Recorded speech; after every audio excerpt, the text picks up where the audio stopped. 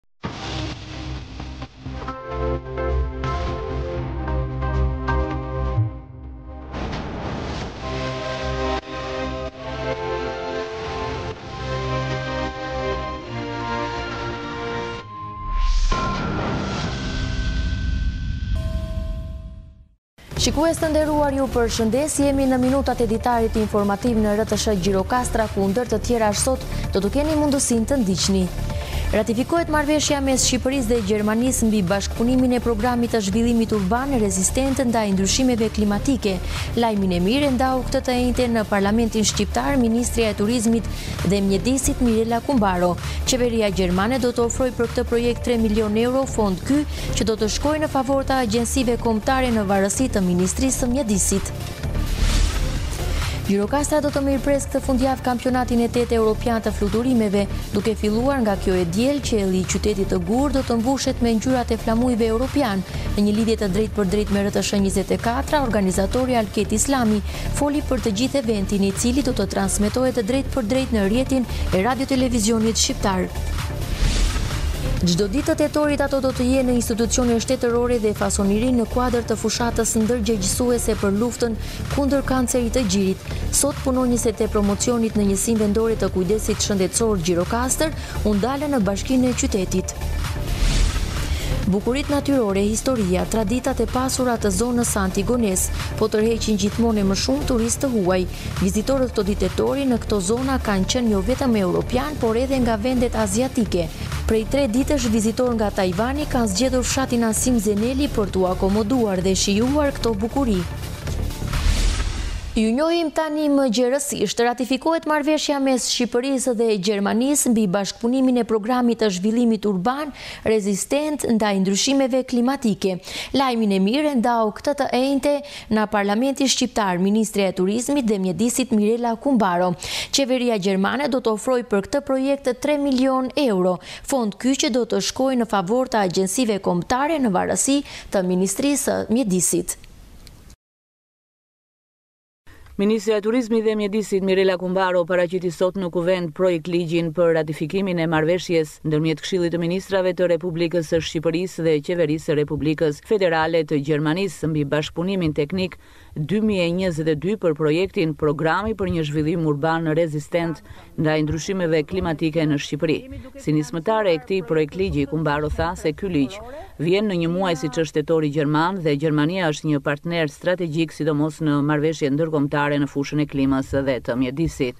bankën gjermane KfW me të cilët jemi duke financuar projekte shumë të rëndësishme infrastrukturore, si në fushën e ujësjellës kanalizimeve apo në menaxhimin e integruar të mbetjeve, duke sjellë në vëmendjen tuaj për shembull një ndër modelet më të suksesshme siç është sistemi i menaxhimit të integruar të mbetjeve në Korçë. Sipas ministres Kumbaro, një pjesë të financimeve që vijnë nga Gjermania i marrim në formën e granteve dhe në bashkëpunim me GIZ-in, Sot kemi sjellë para jush një marrëveshje të re për ta miratuar dhe ratifikuar si projekt ligj, që është pikërisht programi për një zhvillim urban rezistent ndaj ndryshimeve klimatike në Shqipëri. Bëhet fjalë për 3 milionë euro asistencë, duket sikur këto ndryshime klimatike janë një fjalë abstrakte dhe si të paprekshme dhe pa ndonjë efekt konkret, Kjo vjen sepse mbase ende nuk e kemi komunikuar sa duhet dhe në komunikimin publik pse janë të rëndësishme, jo thjesht për të bërë teori, jo thjesht për të respektuar detyrimet ligjore që kemi në konventat ndërkombëtare lidhur me ndryshimet klimatike, por sidomos për t'u përgatitur dhe parandaluar pasojat që ndodhin nga ndryshimet klimatike.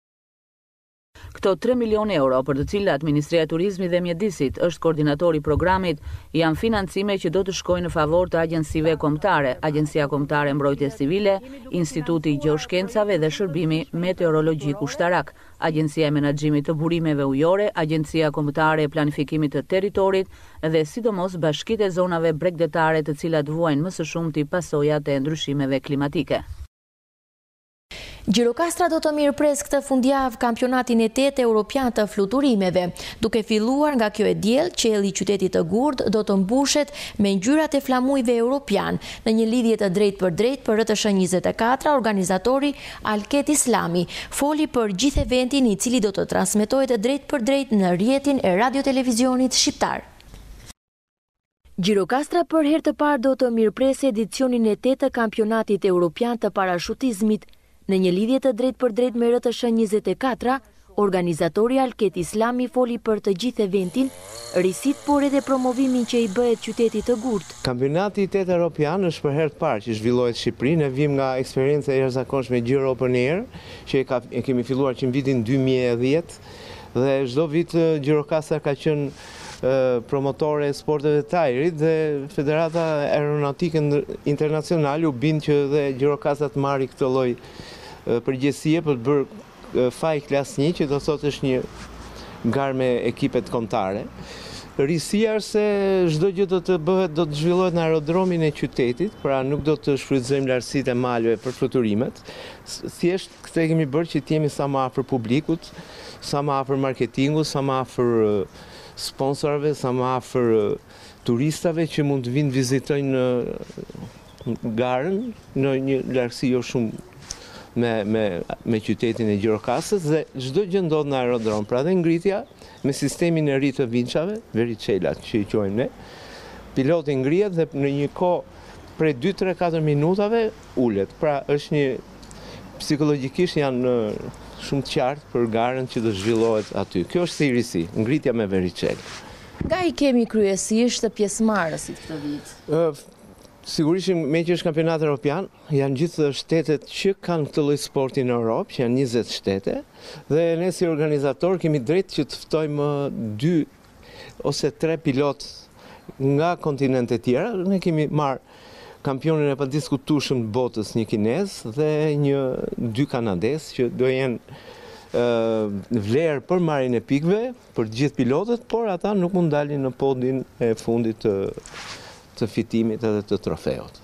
Fluturime me precizion, në fakt është një disiplinë e re kjo? Jo, jo, është disiplinë që është bërë gjithmonë Gjirokastër përveç disiplinës tjetër, që është cross country, gara largësisë që bëhet nga Çajupi, ne këtë gjë e bëjmë në prill atë pjesën e e disiplinën e distancës, kurse precizioni është një Një disiplinë që është e vjetër në këtë lloj sporti dhe Shqipëria ka eksperienca shumë të mëdha në këtë disiplinë. Sa interes kanë të rinjtë në Shqipëri për këtë lloj sporti? Interesi sigurisht që nuk është dhe aq i madh, e rëndësishme është që ne duam që ato që të vijnë të jenë të koncentruar dhe të bindur që por ekipin ekipin e kemi tri. Ekipin e kemi të ri në moshë, edhe pse kemi firo, pra kanë shtektuar për për arsye emigracioni, nuk e di pse, dy tre pilotë, edhe një vajzë dhe dy djem që janë pak vlerë e munguar në rezultatet e ekipit tonë, por me dy pilotë që kemi në eksperiencë dhe me tre të rinj që janë futur, mendoj që të paktën të rinj të kenë të kenë vazhdimësinë dhe të kenë të marrë një përvojë të madhe që të jenë në të ardhmen pastaj të aftë për të marrë pikë. Të rinjtë ne i presim sepse ky është sport që sa më i vogël të ushtrohesh aq më aq më kollaj e ke për për të vazhduar.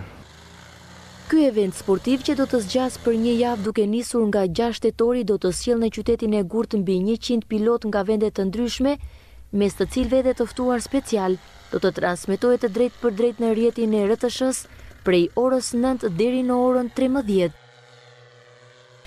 Çdo ditë të tetorit ato do të jenë në institucione shtetërore dhe fasoneri në kuadër të fushatës ndërgjegjësuese për luftën kundër kancerit të gjirit.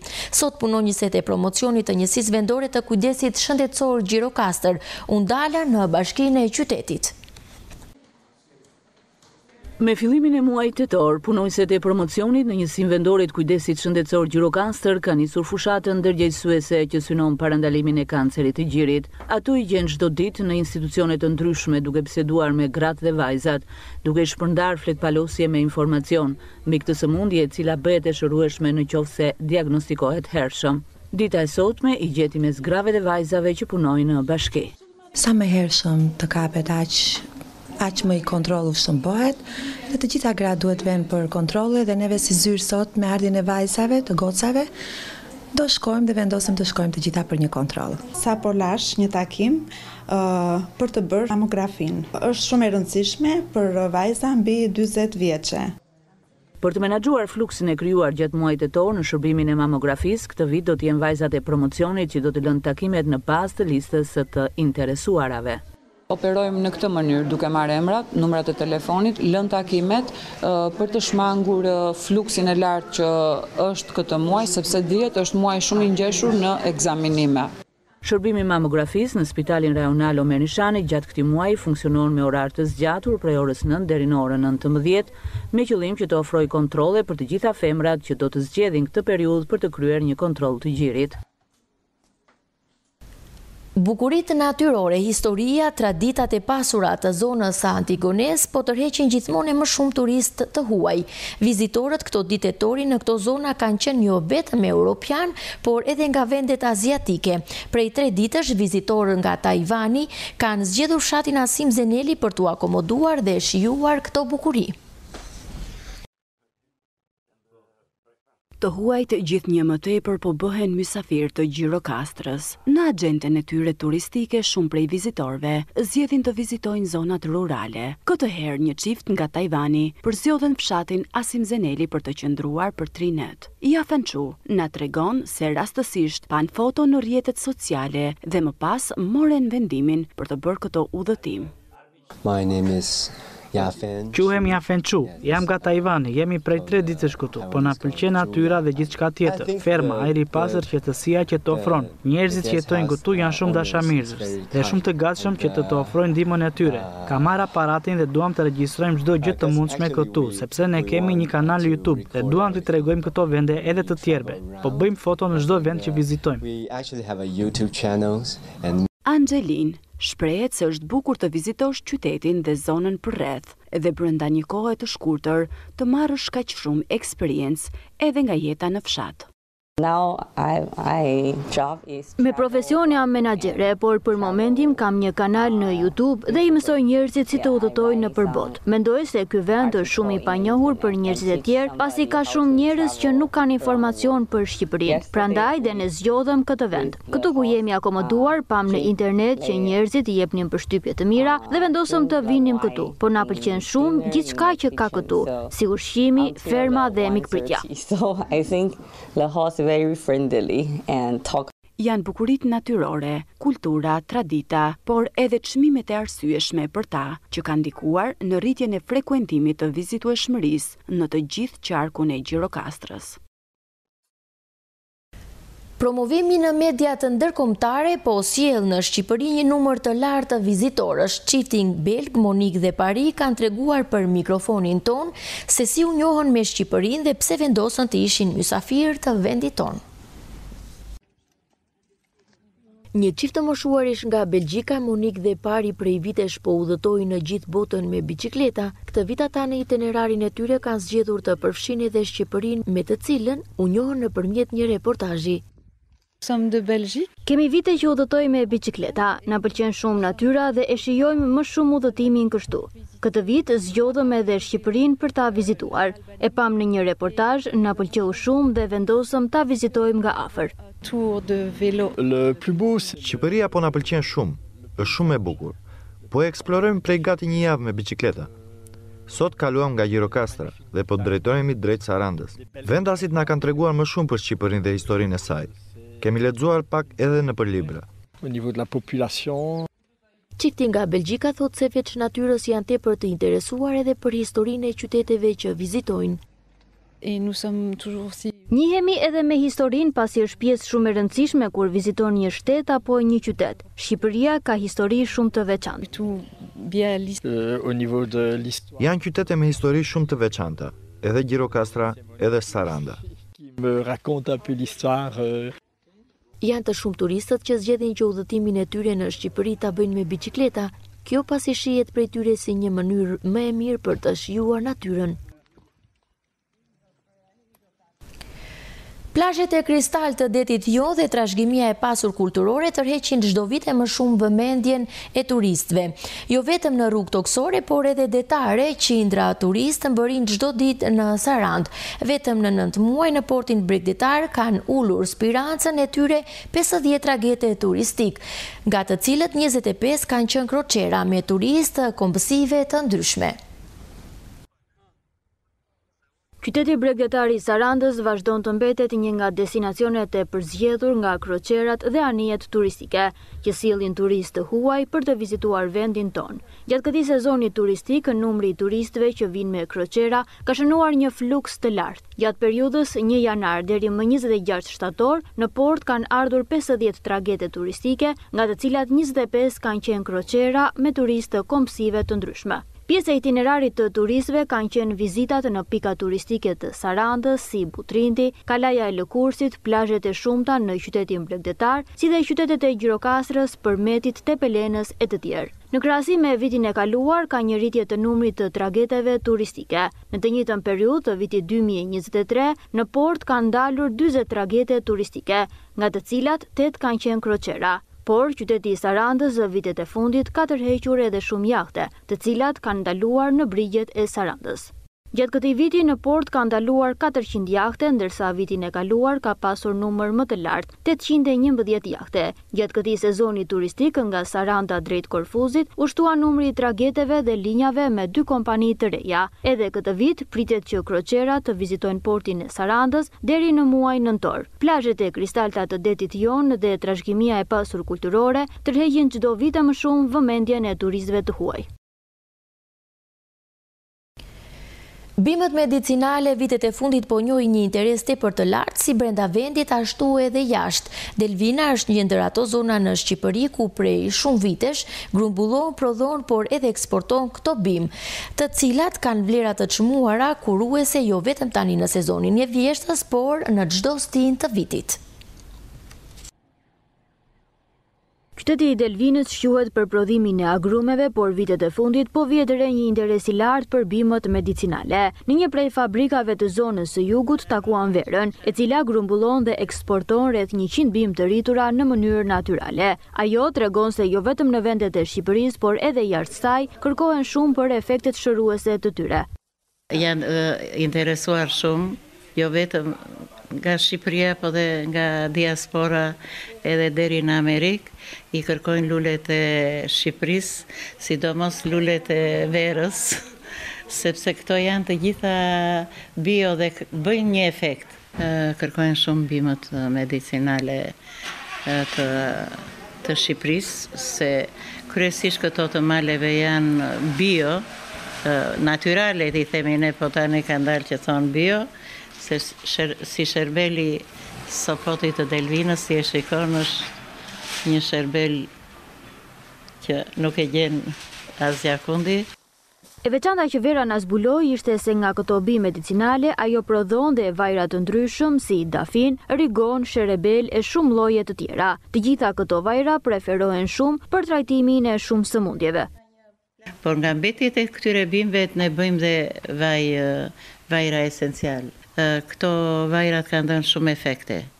sidomos vaji i dafinës dhe i rigonit, t'i bësh miks të dyja, dy pika dafinë dhe një pikë ashtu, njerëzit kolla të gjitha domethënë janë janë shëruar, njerëzit këtu domethënë në jug rreth që nga Gjirokastra, Delvina, Saranda janë shumë të interesuar siç ju thashë edhe nga jashtë po i kërkojnë këto vajrat janë orgjinal qind për qind. Vlerat kuruese të këtyre bimëve medicinale, të cilat mblidhen me shumë mund në zona të ndryshme të Shqipërisë, janë të shumta dhe shpesh herë zëvendësojnë edhe ilaçet.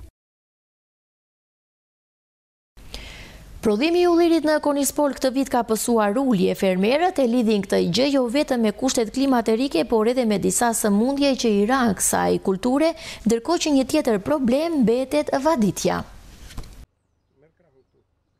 Në bashkinë e Konispolit fermerët që merren me kultivimin e kulturës së ullinjve përballen me probleme të ndryshme. Sëmundjet që i prekin ullinjtë janë një prej problemeve më shqetësues për këta fermerë, pasi ato mund edhe t'i dëmtojnë këto kultura bujqësore. Kryesisht në periudhën gusht, shtator që është periudha e prodhimit dhe që sulmojnë miza që krimbi i ullirit që i themi neve në gjuhë popullore se Kokrra po pati krimb nuk e shet dot. Edhe vaj ta bësh, gjithë me vaj të merr se krimbi i ullirit ka atë të keqe që thith vajin, ha vajin. Quhet kanceri i ullirit, i zë një si kokërr e zezë në trungje ose në degëzime. Atje i presim. S'ka derman ajo punë. Edhe vazhdojmë me spërkatjet për për çdo sëmundje hedhim ilaçe. Një tjetër problem ndërkaq që ata përballen është edhe vaditja e tokave bujqësore për të cilin në shumicën e rasteve janë munduar ta zgjidhin vetë me të ardhurat e tyre. Ullinjtë që janë poshtë në parcela të sistemuara edhe janë ullinj të rinj, ata duan ujë. Plantacionet e reja ne kemi bërë impiantin, bëmë investim të madh vetë. Kanë shumë që kanë probleme se Ne mundëm e vendosëm impiantin, të tjerët sipas mundësisë. Në këtë bashki me ullinj janë të mbjellë gjithsej katërqind e nëntëdhjetë hektarë tokë bujqësore. Ishim në minutat e ditarit informativ në rtsh Gjirokastra, unë ju falenderoj për vëmendjen, ju uroj shikim të këndshëm të programeve tona në vijim, bashkë mirupafshim.